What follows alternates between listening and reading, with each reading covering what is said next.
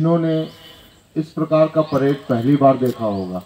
चाहे वो ट्रेनीज हो, चाहे बहुत सारे अधिकारी जो गढ़वा पहली बार आए इस तरह का परेड हम लोगों के लिए नया नहीं है। कम से कम 25 साल से तो मैं ही देख रहा हूँ। और गढ़वा प्रशिक्षण केंद्र ने इस पूरे गढ़वा ज़िले में, झारखंड राज्य में बहुत सारे परेड के लिए पुरस्कार भी जीते हैं। थैंक यू आमिया साहब त्रिवेदी साहब परेड कमांडर रमेश साहब ग्रुप कमांडर्स सेंटर हेड और देश भर के लगभग 10-12 राज्य से आए हुए हमारे बाकी स्टाफगण और रिक्रूट्स लग रहा था वैसे ही आप जहाँ यूनिट में जाएँगे वहाँ भी आपको अच्छा नहीं लगेगा यदि साहब इसको लीड करेंगे तो आए और आगे की कार्रवाई करें। थैंक यू धन्यवाद।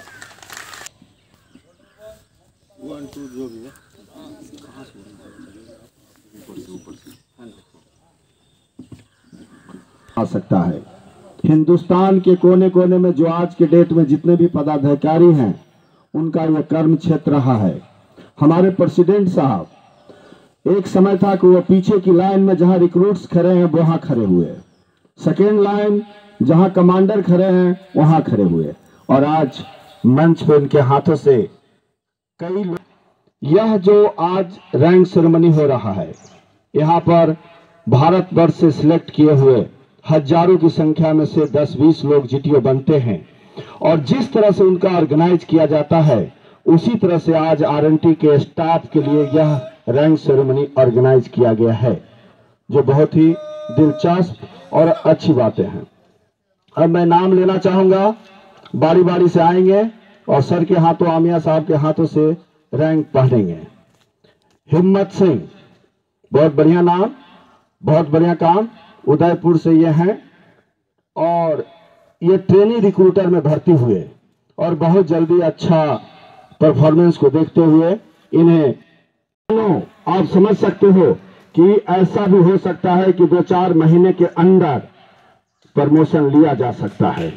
ये गर्व की बात है और हम लोग और लंबे समय तक अपने कंधे पर अपना करियर शुरू किए और आज इन्हें असिस्टेंट रिक्रूटमेंट इंस्पेक्टर बनाया गया है, जो एसएस के रैंक लगागा आप कंधे पे रैंक हाँ। हम्म ट्रेनिंग रिक्रूटर जो भी है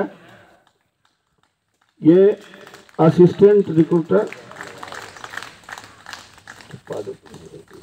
ट्रेनी रिक्रूटर थे इन्हें एसएस का रैंक लगाया जाएगा और अमित पाठक भी रिसेंटली ये सिलेक्ट हुए हैं और अपने चार, छह महीने के कारनामों को दिखाकर यह पदोन्नति पाए हैं।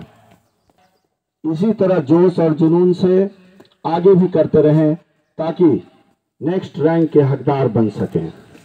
नेक्स्ट नाम है कुलदीप सोलंकिया। यह भी सिंगरौली से हैं, यह भी ट्रेनिंग रिक्रू, रिक्रूटर में भर्ती हुए जवान से और आज इन्हें इन लोगों ने निश्चित रूप से अच्छा काम किए हैं, करके दिखाए हैं और इसी तरह से किए हैं। अब मैं चाहूँगा कि जो हमारे ग्रुप कमांडर में चौधरी साहब मंच पर आए पीके सिंह साहब मंच पर आए। हम्म कुलदीप का बता दिया।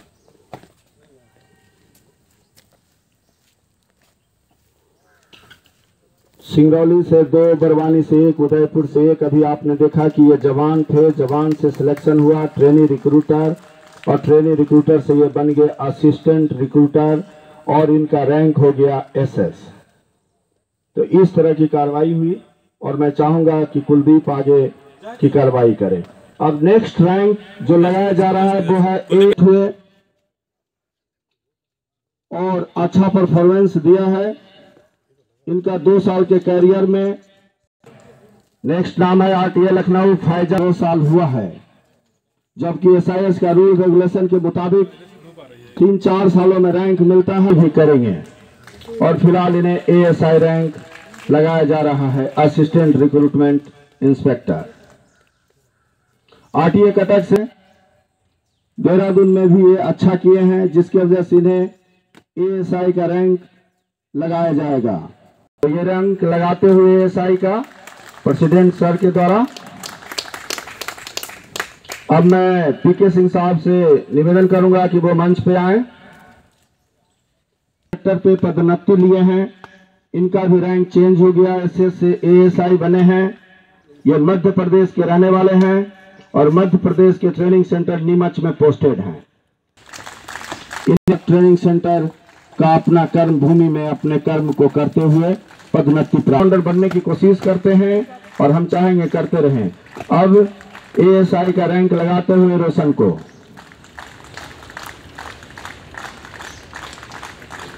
त्रिपाठी, जो कि अभी पिछले ही इसी साल इन्होंने एक एक रैंक के लिए एक एक प्रमोशन के लिए लोग छः छः साल सात सात साल आठ आठ साल तक मेहनत कर ये भी कुछ ऐसे नामों में जो आप लोगों ने देखा। काफ़ी पुराने, काफ़ी समय से एसआईएस में कार्यरत हैं और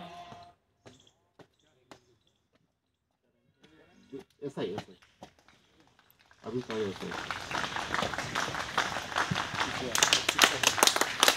देवी है ना।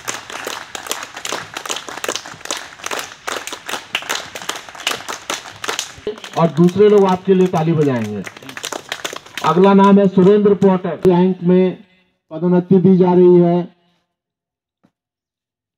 ये जितने भी नाम अभी तक आप देख रहे हैं, या जितने लोगों को रैंक लगा है, कड़ी मेहनत, लगन, ईमानदारी, निष्ठा, सभी कुछ सभी कुछ मिला करके देखा जाता है, तब बड़ी मुश्किल से किसी को अगला नाम है राजेश अभिनोत्री।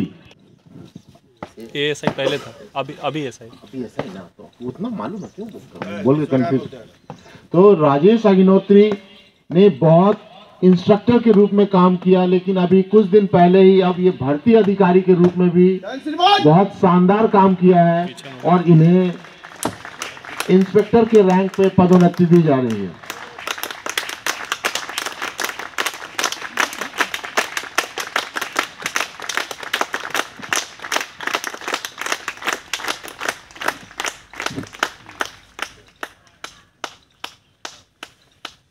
जैसा कि त्रिवेदी साहब ने पहले ही बताया था कि यहाँ पे आप जितने लोग देख रहे हैं चाहे वो हमारे प्रेसिडेंट सर हो सभी लोग आपकी तरह पहले खड़े होते थे। आज कि, किसी को रैंक लग रहा है और कोई रैंक लगा रहे हैं। इसमें अब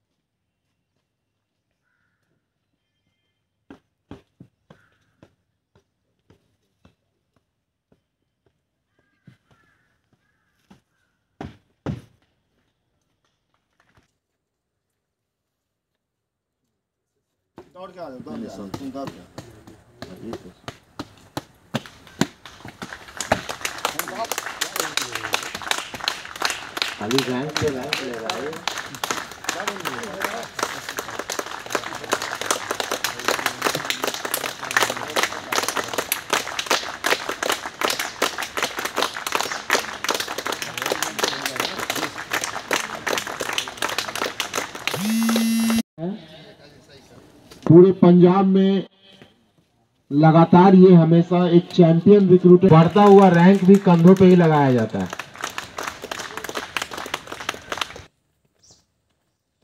कांतिलाल, सतीश कुमार सिंह, सुशील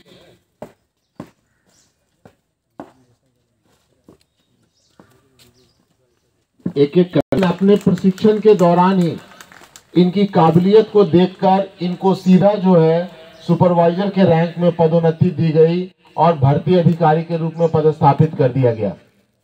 और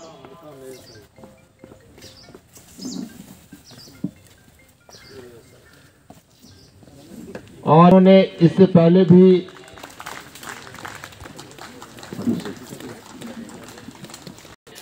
अभी कुछ ही दिन पहले गढ़वा प्रशिक्षण केंद्र में प्रशिक्षण के लिए आए थे। और कमांडेंट साहब की इन पे नज़र पड़ी। इनकी काबिलियत को देखते हुए इन्हें भर्ती अधिकारी के रूप में मौका दिया गया। को मंच पर बुलाना चाहेंगे देव सिन्हा, जो भर्ती अधिकारी के रूप में जसपुर में कार्यरत हैं और अपने अच्छे कार्यों के बदौलत इनको एसएसआई रैंक दिया जा रहा है। तो एसएसआई रैंक का मतलब होता है सीनियर रिक्रूटमेंट ऑफिसर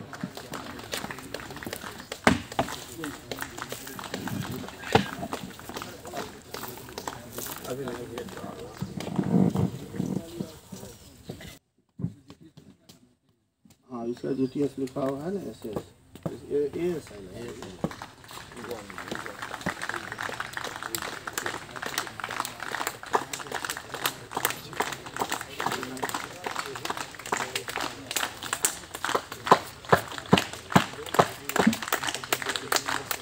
सबसे ज़्यादा ताली बजनी चाहिए कांतिलाल के लिए।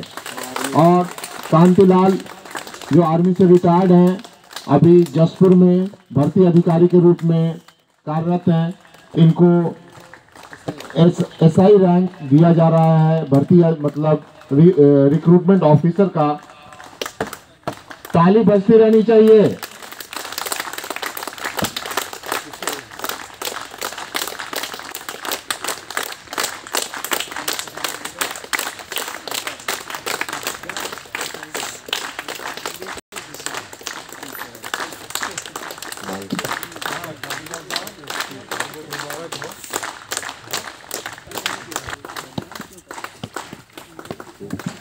रैंक दिया जा रहा है।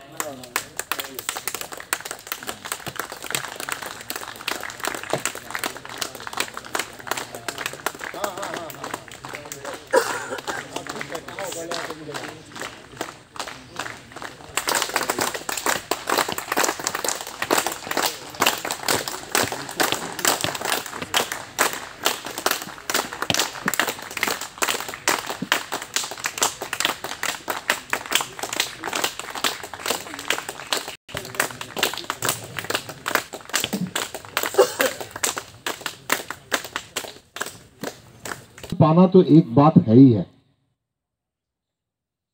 और सिल्वर रैंक से गोल्डन रैंक में जंप लगाना, वो उससे भी बड़ी बात है। जैसे बोलते हैं कि दौड़ते हुए आगे निकलना रेस में, वो एक बात है, और दौड़ते हुए बीच में नौ फीट का जंप, और उनके कंधे पर भी जल्दी से जल्दी गोल्डन रैंक आए। गोल्डन रैंक एक आपके लिए रास्ता खोलती है कि अब आप, जो कि लखनऊ में, लखनऊ ट्रेनिंग सेंटर में कार्यरत है और मैं इस रैंक के लिए प्रेसिडेंट सर को अनुरोध करूँगा कि वो मंच पे आए और हमारा गोल्डन रैंक जो है, ये डिजर्व करता है कि प्रेसिडेंट सर खुद अपने हाथों से लगाएँ। बहुत बहुत बधाई हो रजनीश आप पूरी तरह इसको डिजर्व करते हो। और रजनीश इतनी मेहनत के बावजूद भी मैंने रजनीश को हमेशा मुस्कुराता हुआ और एक इसका जो है, एक खुशनुमा चेहरा देखा है। तो इतना याद रखिएगा कि मेहनत से चेहरे पे और चमक आती है। जो कोई काम नहीं करता ना, उसका चेहरा जल्दी बूढ़ा होने लगता है।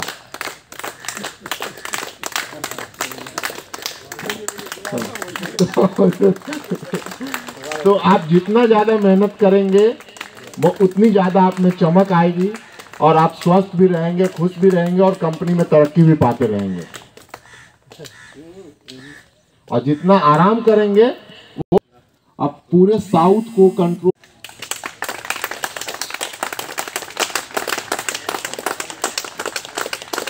और इसके लिए मैं रिक्वेस्ट करूँगा भविष्य के प्रेसिडेंट को को खुद अपने हाथ से लगाएँ।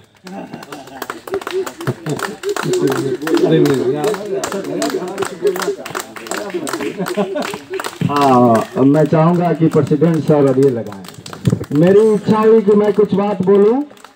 जैसे देखिए, अभी आप लोगों को लग रहा होगा कि एएसआई से एसआई से एएसओ बनना, ये आसान नहीं है। गिरजा की काबिलियत को आप समझने की कोशिश करें कि हैदराबाद ट्रेनिंग सेंटर एक अकेला गिरजा रिक्रूटमेंट भी करता है डॉक्यूमेंटेशन भी करता है एडमिनिस्ट्रेशन भी चलाता है, ये सारी कार्रवाई इनके द्वारा किया जाता है। या इससे बड़ी और कोई खासियत नहीं हो सकती है।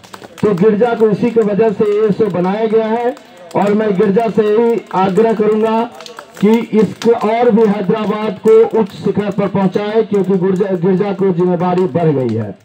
मैं रजनीश राय के बारे में बताना चाहूँगा कि जब हम और सर इंटरव्यू कर रहे हैं तो काबिलियत है कि ईमानदारी का उसने पाँच साल तक के ज्वलंत उदाहरण दिया। दूसरा उसको गोली भी लग गई लेकिन हिम्मत नहीं हारा और गोली लगे हुए में इलाज कर करके उसने बैठ करके रिक्रूटमेंट कैंप किया है।